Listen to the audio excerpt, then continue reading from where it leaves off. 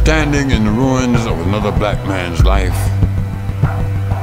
or flying through the valley, separating day and night. I am death, cried the vulture, for the people of the light, light.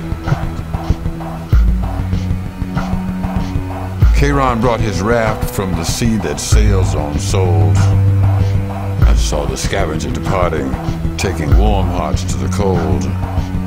He knew the ghetto was a haven for the meanest creature ever known.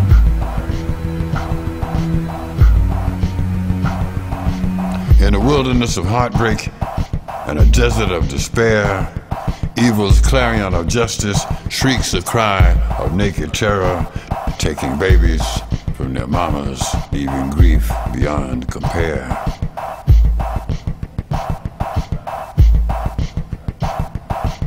So if you see the vulture coming, flying circles in your mind, remember there is no escaping, for he will follow close behind. Only promise me a battle, battle for your soul and mine,